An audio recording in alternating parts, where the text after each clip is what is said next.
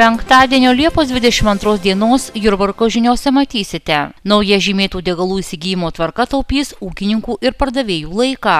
Kūrybinės dirbtuvėlės Jurbarke rūpinasi vaikų užimtumų vasarą. Po pasakų personažu Garniu Garniauskus lepiasi vaikus mylintis knygelių iliustratorius Rolandas Dabrukas. Viens, du, trys, oh! judėkim ir būkim aktyvūs, visur ir visada. Nes dabar kiekvienam užsisakusiam Baltikum interneto ir raiškiosios televizijos rinkinį įteiksime išmanę apyrankę, kuri tikrai įkvėps jūs aktyvumui.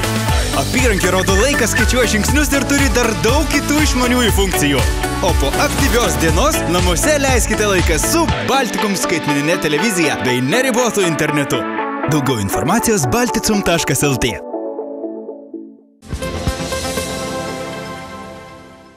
Valstybinė mokesčių inspekcija informuoja, kad siekiant palengvinti administracinę naštą mokesčių mokėtojams, Valstybinė mokesčių inspekcija supaprastino leidimų įsigyti lengvatinių akcizų tarifų apmokestinamų dizelinių degalų, skirtų žemės ūkio išdavimo tvarką. Nuo rūpiučio pirmos dienos leidimai bus generuojami automatizuotai akcizų informacinėje sistemoje, be atskiro žemės ūkio veiklos subjekto prašymo.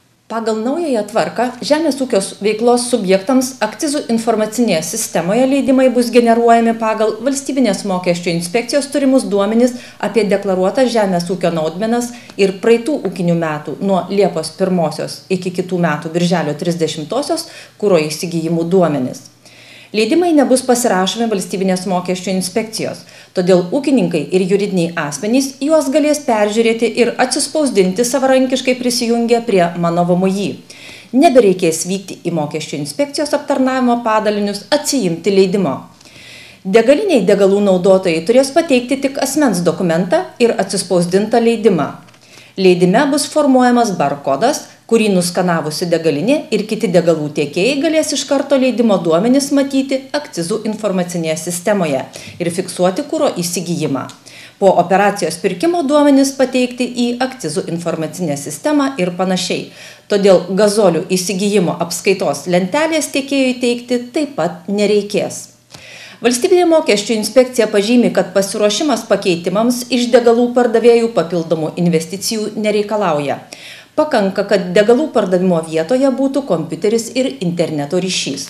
Kasos aparato programinę įrangą keisti turi tik tie pardavėjai, kurie nori procesą pasidaryti patogesnį, automatizuoti duomenų paiešką, apsikeitimą, pateikimą ir panašiai.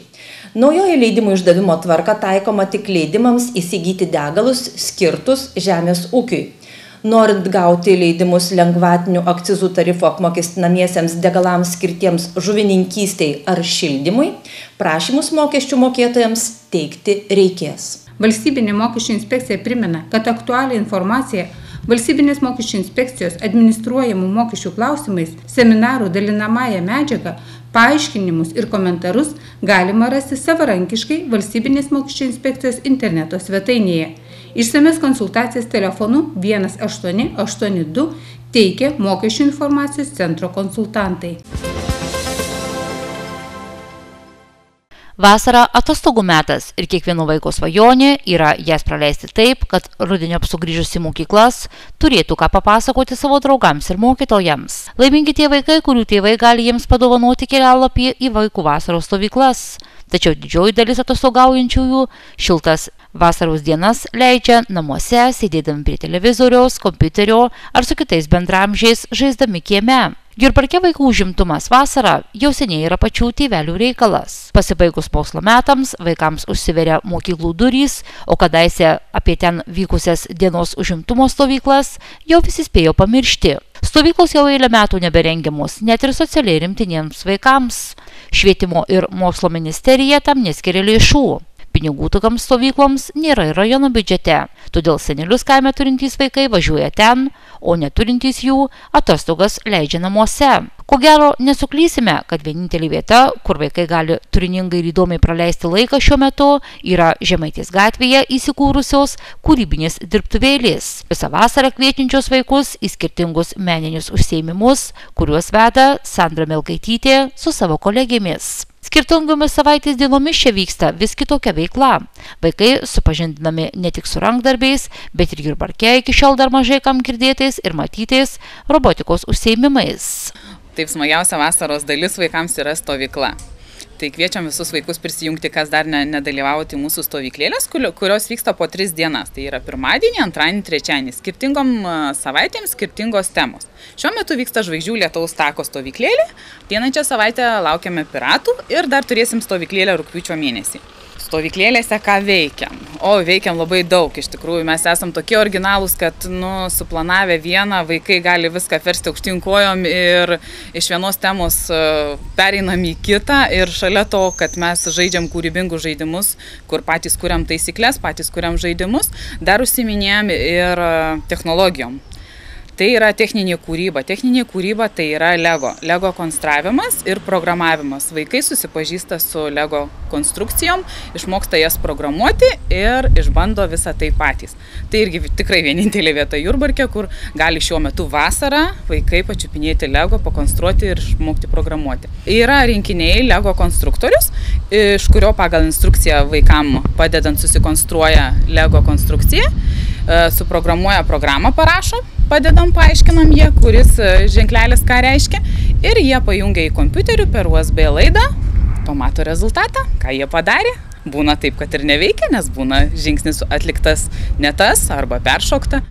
Kūrybinėse dirbtuvėlėse Jurbarke pradėta teikti ir dar viena įdomi bei originali paslauga gimtadienio ar kitos šventės užimtumo programa, kurios metu su vaikais būtų žaidžiami patys įvairiausi žaidimai, pradedant linksmais ir judriais ir baigiant lavinamosiomis viktorinomis bei konkursais. Esam pasirengę pravesti šventes, gimtadienius, e, dalyvavom įvairiuose renginiuose, kur užimam vaikus su pačių sukurtais žaidimais ir savom taisyklėm. Vaikam tai yra labai įdomu, nes nu, tai yra nebandyta ir nauja. Tai kviečiam prisijungti, išbandyti per šventes, kuriuose dalyvavom. Artimiausia numatoma yra jaunimo e, dainų slėnyje balionų karas. 29 dieną e, dideli kariaus, o mes pramogausim su mūsų siūlomomis pramogomis. Šioje stovykloje užsiemimai yra mokami, tačiau kiekvienos savaitės ketvirtadienį visi norintys piešti, kurti ir žaisti, tai gali daryti nemokamai. Mes e, dalyvavom projekte e, Atverk duris vasarai. Tai yra kiekvieną ketvirtadienį, visą Liepos mėnesį, nemokamai vaikai gali ateiti užsimti kūrybinius uh, užsiemimus. Ačiū LK statybai, kuris paremė mus medžiagomis ir galime kurti iš to, ką turim. Įvairiausius, taip pat žaidžiam žaidimus ir darom darbelius. Norinčius sužinoti daugiau apie šią vasaros stovyklą ir kitas kūrybinėse dirbtuvėlėse teikiamas paslaugas, Sandra Milkaitytė kviečia užsukti į kūrybinių dirbtuvėlių profilį socialinėme tinkle Facebook arba į pačias dirbtuvėlės įsikūrusias Žemaitės gatvėje. Visą tai, ką mes veikiame, galite matyti Facebook'o puslapyje kūrybinės dirbtuvėlės Jurbarke ir apie stovyklėlės, ir apie atviras duris, ir visą kitą informaciją kviečiame užsukti ir pasižiūrėti, kas pas mus vyksta. Ne tik Facebook'e, bet ir gyvai. Vakar Jurbarko rajono savivaldybės viešojoje bibliotekoje vyko susitikimas su rašytoju ir iliustratoriumi Rolandu Dabruku. Šalia jo paminėtų Rolando profesijų galima dar drąsiai pridėti ir aktorystę, nes vakarykštis jo susitikimas su vaikais buvo tikrų tikriausias spektaklis. Sužavėjęs ne tik mažuosius jurbarkiečius, bet ir kartu su jais salėje buvusius tėvelius, senelius ir bibliotekos darbuotojus. Beveik dvi valandas trukusiame renginyje laidą iš gyvūnijos pasaulio vedęs Rolando Dabruko įkūnytas gandras Garnys Garniauskas, sekdamas savo paties sukurtą pasaką Aš kitoks, vaikus drąsino nebijoti išsiskirti iš kitų bei kvietė savyje ieškoti išskirtinumo. Iš Dzūkijos kilęs ir šiuo metu Amerikoje gyvenantis 38 metų menininkas nesunkiai rado kelią į vaikų širdis ir padovanojo jiems įsimintiną vasaros atostogų akimirką. Pats Rolandas Dabrukas į rankas piešimo priemonės pirmą kartą paėmė būdamas trejų ir su jomis nesiskiria iki šiol. Iš didelės menininkų giminės kilęs dailininkas sakėsi kasdien gyvenantis meno pasaulyje. Esu gimęs ir užaugęs Dzukijoje šalia druskininkų, gražaus miesto, e, Senkonių kaimelį, labai graži vieta. Ir ką, tai va, iš ten, iš tos vietos Dabar gyvenu šiuo metu Los Andželas ir dėstau dailės e, mokykloje ir, ir, ir šiaip privačiose mokyklose ir turiu privačiai studentų. Tai gyvenu kaip ir mene. Aš labai myliu vaikus ir, ir kažkaip norisi tiem vaikam daryti, kurti. Ir, bet ir šita nauja knyga, aš kitoks, jinai yra tik tai vaikams knyga, nors ir suaugusiems patinka ta knyga. Bet kažkaip yra, yra faina kurt, kai, kai vaikai tave apdovanoja šypsenom ir juoko ir džiaugsmu. Tai tada, kad didžiausias džiaugsmas yra kurti jam. Ne tik vaikams, bet ir kaip pats autorius tvirtina ir suaugusiems skirta knygelė Aš kitoks yra ne pirmoji Rolando sukurta ir iliustruota knyga. Prieš ją išleista kita, pasakojanti Mėlynojo briedžio istoriją, vos tik pasirodžiusi Amerikoje tapo itin populiari, kaip ir paties Rolando įkūnytas tos pasakos personažas Briedis. Yra kita knyga Zulidėjs, tai su ta knyga aš padariau spektaklį, vadinasi Storytime Extravaganza ir su ja aš keliavau po visą Ameriką ir um, apsirengęs kaip mėlynasis briedis, vienas iš mano herojų. Ir um, labai kažkaip visiems tiko, patiko, net uh, kai kuriuose miestuose vadina mane mėlynoji briedžių tiesiai. Ateina, o mėlynasis briedė. Dabar sukūriau naują herojų, tai yra gandras Garnys Garniauskas.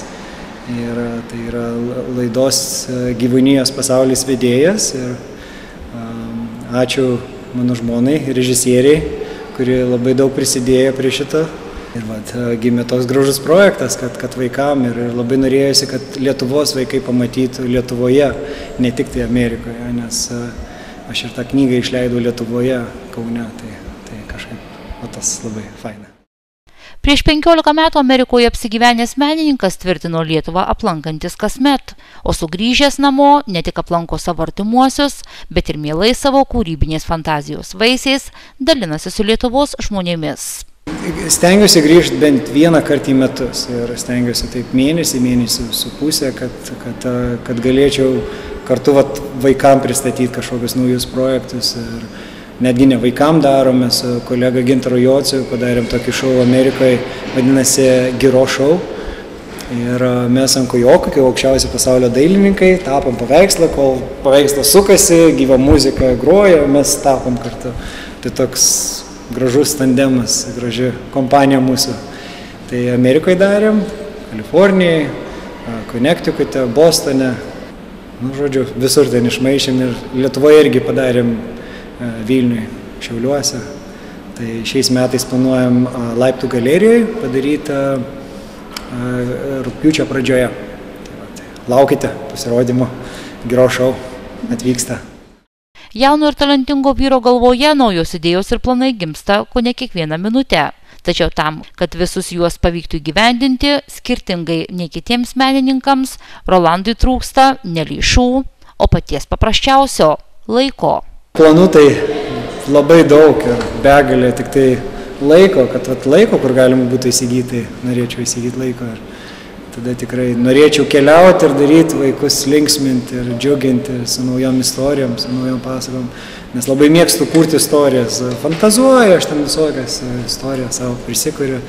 Tai e, linkiu visiems tokio gražaus gyvenimo, kurį aš gyvenu ir, ir tikrai jis yra nuostabus ir spalvingas. Ir, ir, ir geras, ir linksmas, ir sutinku pačius nuostabiausius žmonės. Tai, tai ačiū Jums, draugai, už Jūsų visą pagalbą ir, ir, ir paramą ir, ir draugystę.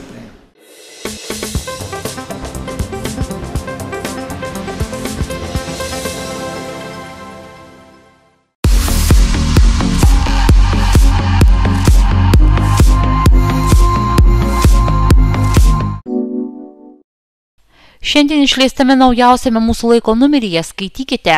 Šiemet, birželio 29 dieną patvirtintas pirmasis keulių maro žydinys sukėlė ant kojų veterinarijos tarnybas. Specialistai perspėja, jog reikia atkreipti dėmesį į keulių ūkių tiek stambių, tiek ir smulkių saugumą. Trims keuliams laikytams smulkiajame ūkyje, Juodelių kaime, Elektrėnų savivaldybėje nustatytas afrikinis keulių maras. Neramina tai, kad Elektrėnų savivaldybėje iki šiol šis virusas nebuvo nustatytas nei šiandams, nei keuliams. Plačiau apie tai skaitykite laikraštyje. Kitoje publikacijoje pavadintoje Baidarė Dubysa nuo įspūdingų tiltų iki pavojingų slengščių pasakojami laikraščio žurnalistės įspūdžiai iš atostogų. Tikros atostogos prasideda tada, kai ankstyvą saulėtą vasaros rytą sėdi į baidarį ir plauki ten, kur neša srovė. Ir taip visą dieną. Akis pripranta prie saudrios žalios spalvos, žydro dangaus nematai, nespigina saulė. Klausaisi paukščių čiulbėjimo, kai plauki pro miškus. Visą pasakojimą skaitykite šios dienos mūsų laiko numeryje. Vidiniuose laikraščio puslapiuose skaitytojai susipažins su iš smalininkų kilusiu profesoriumi gyvenančiu Floridoje, abitūros egzaminus sėkmingai išlaikiusiais gimnazistais, saugusiųjų dainavimo studiją vadovaujama Rūtos Šličkutės bei dar daugelį kitų naujienų. Rytoj skaitytojai sulauks ir naujausio šviesos numerio, kuriame gvildenamos šios aktualijos. Tremties muziejaus likimas rūpi tik patiems tremtiniams. Taip pavadintame pirmajame puslapyje, įspausdintame straipsnėje, rašoma. Skaudžios istorijos nuotrupas saugantys Jurbarko tremtiniai nuolatinės vietos tremties ekspozicijai neranda. Negana to, paaiškėjo rajono valdžios ketinimai tremties istorijos muziejų įkurdinti ne Jurbarke, o Lybiškiuose, neveikiančioje Varlaukio geležinkelio stotyje ir jau ruošiami pastato perėmimo iš akcinės bendrovės Lietuvos geležinkeliai dokumentai. Žinia apie planus į Varlaukio geležinkelio stotį perkelti dar likusius eksponatus pribloškė Lietuvos politinių kalinių ir tremtinių Jurbarko filialo valdybos pirmininkė Irina Pažiūrėskienė. Ji teigia apie tai nieko nežinojusi. Plačiau apie tai skaitykite laikraštyje. Kitose publikacijose Gvildenama dar kita problema. Įmonės energijos skirstimo operatorius pateikiami skaičiai apie vagystės iš transformatorinių pribloškė. Pagal padarytus nuostolius Jurbarko rajonas užima pirmą vietą penketuke. Ketvirtadienį mieste apsilankė įmonės atstovai ne tik pristatė vagysčių statistiką, bet ir ieškojo atsakymo, kaip sumažinti jų skaičių. Plačiau apie tai publikacijoje pavadintoje Rajonas tarp alybos vagysčių rekordininkų. Vidiniuose šviesos puslapiuose skaitytojai ras rašinį apie dar vieną opę bėdą mažųjų laivelių prieplaukos viduryje augančias žolės, trukdančias laivininkystei. Savivaldybės administracijos užsakymų gilinta ir tvarkyta mažųjų laivelių prieplauka tapo patyčių objektu. Kol savivaldybė skelbėsi, kad prieplauką gali naudotis laivai, kurių grimzliai iki metro, pečiais gūščioje ir laivelių savininkai ir net su laivyba nieko neturintys gyventojai. Plačiau apie tai straipsnėje pavadintame prieplaukos gelbimo planas. 7 tūkstančiai eurų žolėms auginti. Šios ir dar kelios kitos nepaminėtos temos yra sudėtos į naujausią šviesos numerį. Į Jurbarką sugrįžta Super Fiesta. Liepos 31 dieną 19 val. Jurbarko dvaro parke vėl skambės vienas laukiamiausių vasaros muzikinių kokteilių Super Fiesta. Šlagerių karalienė Birutė Dambrauskaitė, projekto Žvaigždžių duetai nugalėtojas Radži, muzikinės kaukės nugalėtojas Martinas Kavaliauskas, publikos numylėtiniai NT Atina ir Tadas Rimgaila, senos huliganai Tautinis Brandas, Popdėvaitės, Naujosios Papytės ir šių metų atradimas televizijos projekto X Factorius finalistas Aleksas Girparkiečiams dovanos pačias gražiausias savo dainas.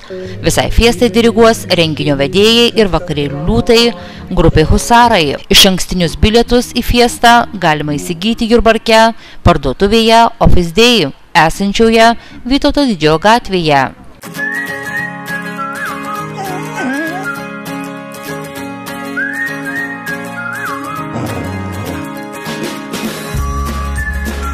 Jis nuolatinis tavo gyvenimo palidovas.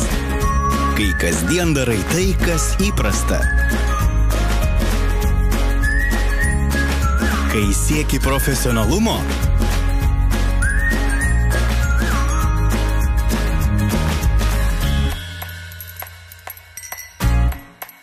Jis sugeba nustebinti, kai nori pramogauti.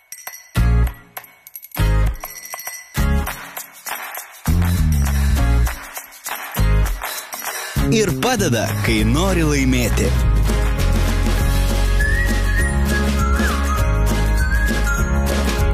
Jis nepakeičiamas, kai ieškai informacijos.